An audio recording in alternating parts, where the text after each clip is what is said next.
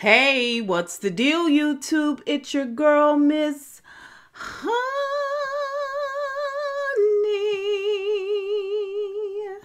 Welcome back to the channel, you guys. It is your girl, Miss Honey, here for a Married to Medicine review.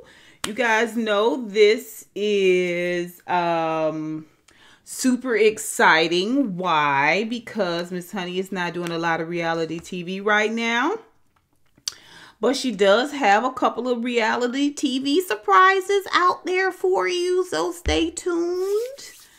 Um but today we're going to be talking about married the married to medicine this is season eight and um one of the reasons i love married to medicine uh original is because it's in atlanta and uh, i love to see my city as well as these ladies do a lot of good collectively and i like to see that i really do i will tell you that um there's no sugarcoating it. They are in the midst of the pandemic. They're still, um, you know, they're doctors and doctors' wives. So it is unavoidable them dealing with this whole pandemic situation. You know, a lot of people feel like, okay, we're dealing with it out here. Um, and we don't want to also be looking at it on TV I disagree with that in the sense that we just need to continually be reminded that there is something major going on because the way these folks is out here in these streets like it's just another day you know what i mean? Like no we need to be reminded. We need to be continually reminded about you know the what's what of the what you know? So uh, obviously the show opens up and there's this montage from um, our our original cast, as many of them as we have left. Um, and they're talking about not just the pandemic and how it's affecting them and their families, but also how um, the racial tension of 2020 and still 2021 spilling into 2021 if we be if we're honest with ourselves is affecting them as doctors as um, black women as black wives it, with black husbands and black sons and you know it just trying to navigate those things. Um you know i i was i will say this. When you have black sons, I think um, those emotions are a little bit more um, on the surface, and uh, you can you can feel the emotions behind it. You can feel the intention behind it. You can feel the seriousness behind it. Um, when you're dealing with individuals that are not as in touch, which I don't feel like Dr. Jackie is as in touch. And I can kind of relate to it because I, I don't have children and sometimes things as it pertains to to young people doesn't connect with me as much, but I have feelings. I have brothers. I have a father. You know, I have tons of black males, nephews, friends, exes, whatever that I have empathy and compassion for, and you know, as a whole, uh, I try to try to be as empathetic as possible. Dr. Jackie always comes off as a little out of touch to me. I don't know. Like I said, I can relate in a way, but it's just something about her. I don't know. She's just a, a really, really controlled, kind of closed off individual. Even with this whole Simone situation, I feel like you have to know her. And um, when you know her, you know what emotionalism is from her. But anyway, recap everybody. Toya is doing really good in her neighborhood. Her boys are getting older and they're starting to look a lot more like Eugene the older that they get. Um Jackie's house is finished and um she like I said she's concerned about her relationship with Simone. she and Curtis are getting settled in. The house is not uh, complete. And she wants to get rid of all of her old furniture and get new furniture. You know, she goes from project to project to project. And as exasperated as Curtis gets about this, she wouldn't be focused on any of this if you let her get a baby, if you let her get a child. But she ain't got no children. She ain't got no children, so she's gonna she's gonna be putting all of this this extra energy and this extra time that she and Simone both have because practices have slowed down a little bit. They're doing more telemedicine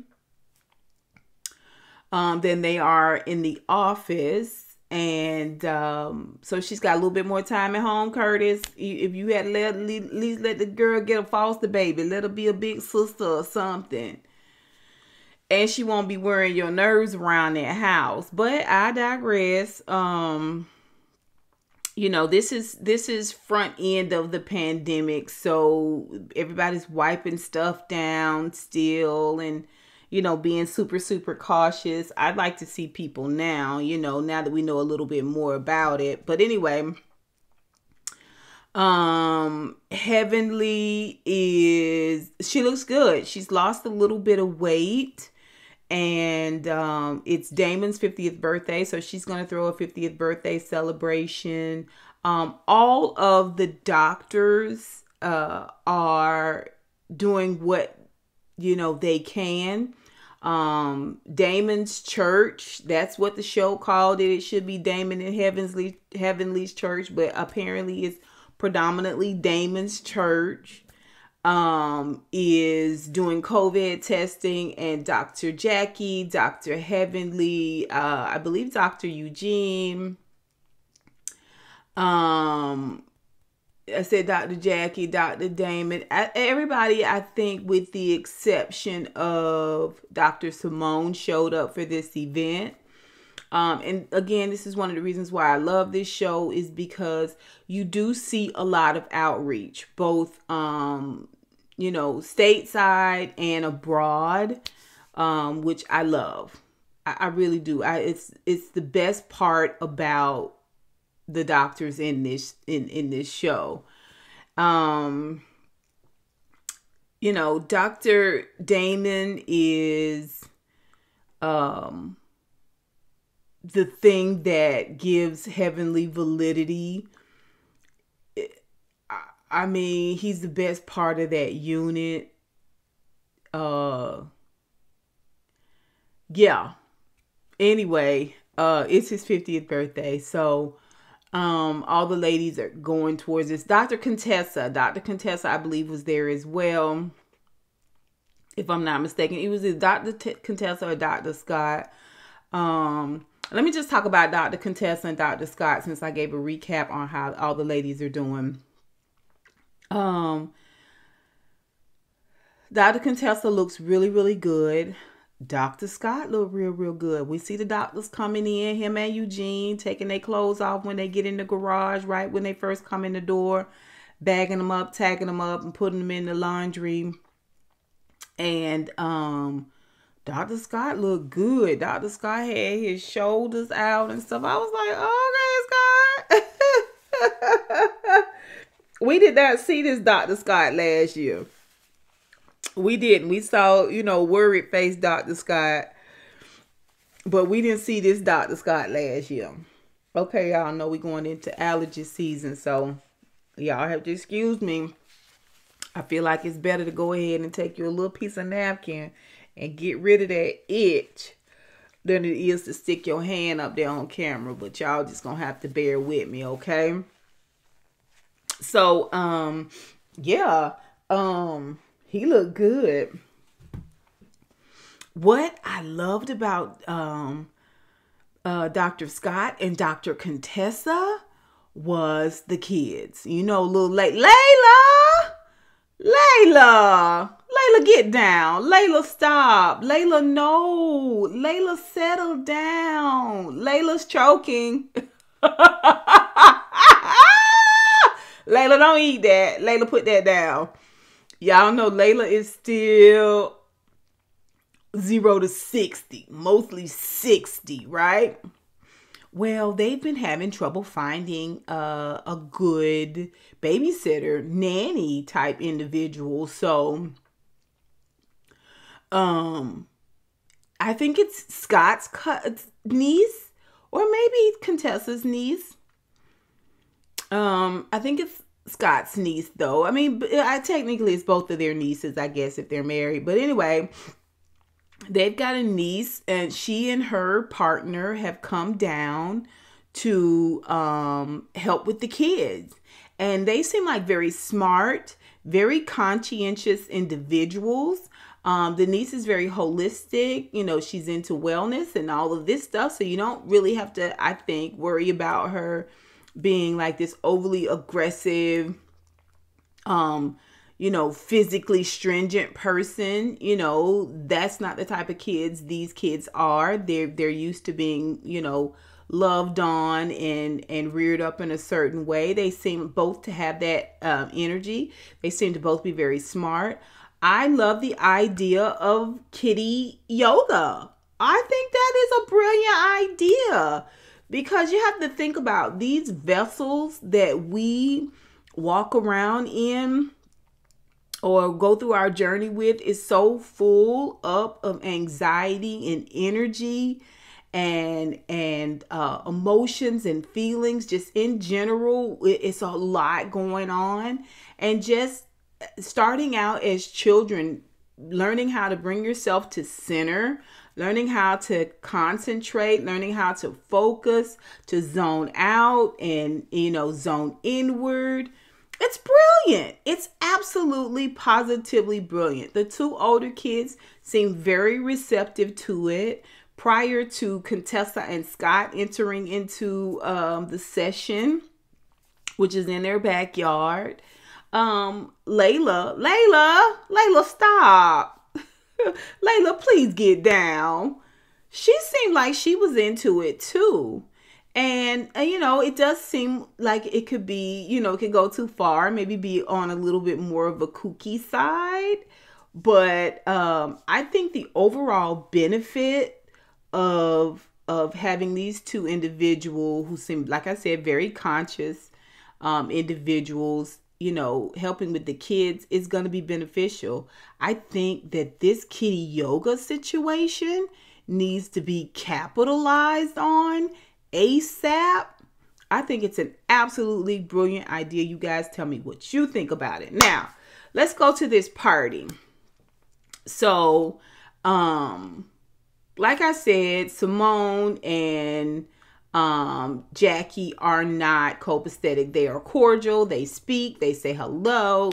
And across the parking lot, you know, they work not too far from each other. They were having lunch together every day last season, this season, because the rift that has happened with um, Jackie's relationship with Heavenly um, is apparent. And um, it has taken its toll. And uh, Jackie seems sensitive about it and emotional about it. Um, I think Jackie to me she's giving me this energy like she just wants things to go to back back to where it was and she wants Simone to just deal, right? And Simone seems like she wants it to be very very clear coming from Jackie that she's number 1. And that looks to me looks like for what that looks like to Simone is Jackie not hanging, I think, with Heavenly at all. But Jackie enjoys hanging with Heavenly. I just don't understand how um, a 20 something year relationship from from um you know from these ladies is supposed to crumble under the weight of Dr. Heavenly. Like to me, it doesn't say as much about Dr. Heavenly, who, in my opinion, is not that special. Um, it says a lot about you guys, lady, you ladies, and your investment in one another. Because I wouldn't give my friend up. If I was you, Simone, I wouldn't give my friend up. No, she can't have my friend. Uh uh No. That's not that just wouldn't happen. Okay? And at the same time, what are you getting Dr. Jackie from Dr. Heavenly or this this insistence upon being um, anchored to Dr. Heavenly that is more important than this 20 something year relationship you have with your good friend. Like you guys are smarter than this. You two are smarter than this. And 20 something years of friendship is supposed to be able to withstand these types of storms. It's definitely supposed to be able to withstand these outcome outside entities coming in and just pissing all over the whole situation. Like, come on.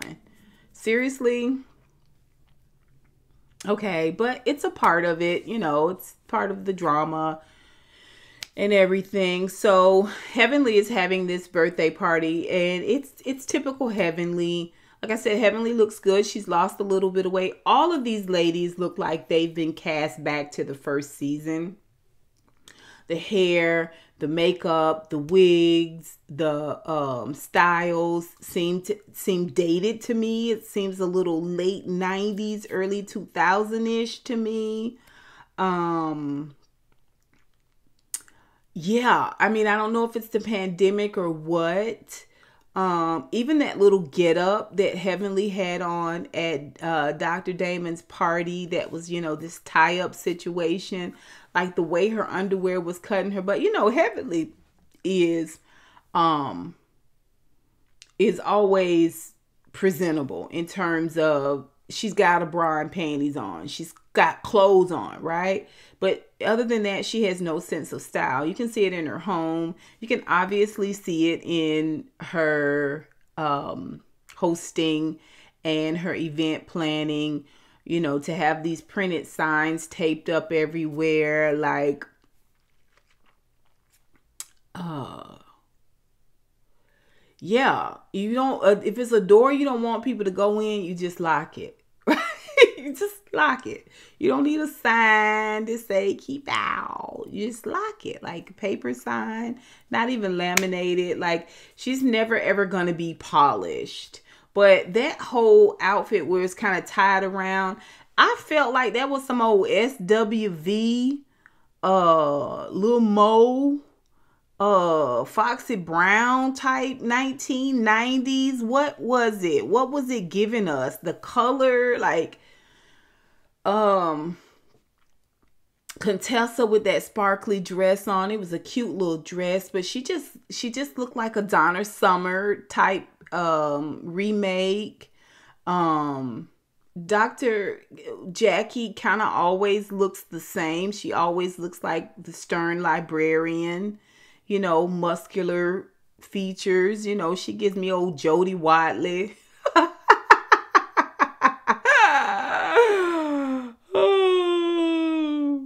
old Jody Watley feel. You remember how muscular Jody Watley used to be?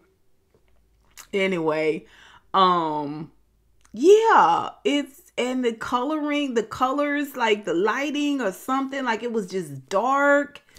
I don't know. It was just giving me the whole episode. The ladies kind of look throwback to me. Y'all tell me what you think. Put it down below. But of course, the the um major elephant in the room is this dynamic, this new dynamic between Simone and Dr. Jackie. And, um, you know, Simone was steady sh- throwing shade at, at Heavenly, but she's at their function. Probably because it was Damon's function. I don't know if she would would have been as cordial and it's polite if it was just Heavenly's function, or if she would have even come if it was just Heavenly's function. But she was there to support um, Dr. Damon. Um, I think that the ladies, you know, the juxtaposition between what the ladies were concerned about, which was entertaining us with this drama and this pseudo tension with Dr. Jackie and Dr. Simone the the men were talking about serious cultural concerns as it pertains to race. Dr. Damon said, as a black man, he's had a gun pulled on him twice for no reason. That is a huge amount of times.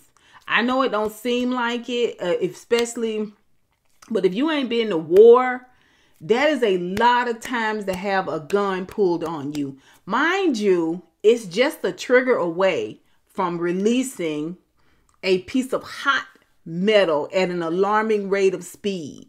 Like, I don't even play. My brother brings his gun in and sits down and and, and sometimes he cleans it at the dining room table you know he puts the cover down and he will um have all the bullets out of it and everything but the empty gun turned towards where I'm sitting like I'm eating I take a pin or something and I twirl that joker the barrel of that joker towards the window. I don't want it facing me. I don't care the it's got bullets in it or not. It's a horrifying feeling. I think to have a gun pulled on you. And he said he's had it happen to him twice. Even um Cecil telling his story, like it was it was a much more enriching conversation. I did enjoy the balance with the ladies um, but just to give you an idea of of in terms of the conversation, you know, it, it was a good couples party in that sense, right? Um, Toya was drunk. I'm not really sure why she wants this to be continually her story. Is that she's drunk and belligerent and the over talker, but perhaps she is um, doing what she has to do to um make herself seem more relevant as it pertains to the show, right? Like her son said, you not a doctor. So um the show goes off right there in this contentious moment. Jackie does get up and says, I'm gonna hug you, Simone, whether you want it or not. Um, Simone had an issue with the fact that Dr. Jackie was sitting there and wasn't saying much to her, but you entered the room. I think when you enter a room, you have an obligation to um to speak to everyone in that space. Do you know what I mean? Like if you walk up to a table full of people, you're obligated to say hello, how are you? How's it going? How's the family? You know what I'm saying? You just go around and speak to everybody. That's just what it is. And if you're in a place where you can hug, typically that's what we do. We go around and we give everybody a hug and you know ask how they're doing or whatever and just kind of catch up and keep you know this this constant steady um movement in the river of conversation right so simone could have spoken just as easily to jackie um like i said i have no idea why it is you guys um, are allowing 20 years of friendship to come to this place other than it's necessary for you both to appear as though you have something to talk about. I call bullcrap on it. It doesn't feel real to me from either side. And I'll be honest with you in closing, I do miss Quad and I do miss Mariah. I think they both added a texture to this show that was natural and um, easy. I think that the people that they are throwing into the mix, this Nyla person, and we're going to get to see Carrie. I think she's the other addition or the re-addition. Um, as well as Dr. Heavenly. Um, it's kind of like a forced texture. It's kind of like a forced um bit of a bit of flavor, a bit of you know, something special. I always feel like what's going on with Dr. Heavenly is more of an obnoxious um act of attention. Uh I don't know what we're going to get from Carrie in terms of texture. I think uh, her relationship with Mariah kind of balanced that out, but we're going to see. And this Nyla person um, seems okay. She seems all right. I, you know, she was kind of interjecting a little bit in the conversation that they were all sitting around trying to have about Dr. Jackie and um, that type of thing. Um, you know, it seemed like an odd place for her to be interjecting herself. She should have been doing more listening. But we say that about all the new girls, right? Like, mind your business, but you know, they got to make that first season for them pop or they out, right? Um, Dr. Heavenly checking Toya about her tone to Damon to me that's getting real old from Dr. Heavenly, especially because you come out your mouth any any old kind of way to these women and their husbands. So um yeah. I, I I would like to see some reckoning as it pertains to Dr. Heavenly this season. That's what to me will make this season worth it. You guys tell me what you think. Are you guys watching Married to Medicine this season? How did you feel about this first episode? I'd love to know. Put it down below. And until next time, honeybees, mwah, mwah, mwah, I'll holla.